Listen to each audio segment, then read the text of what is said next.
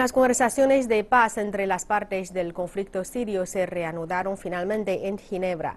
El embajador de Siria ante las Naciones Unidas declaró que su reunión con el mediador de la organización internacional, Staffan de Mistura, había sido positiva y constructiva. Nosotros, en tanto delegación, cumplimos con la responsabilidad que teníamos, que era ayudarlo a garantizar una buena preparación para ir de la forma al contenido. Enviamos ideas y opiniones bajo el título de Elementos básicos para la solución pacífica, elementos básicos para una solución política.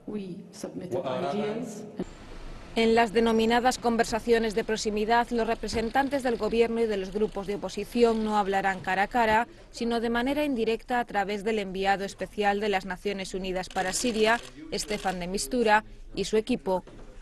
Él hará labores de mediación entre las partes del conflicto.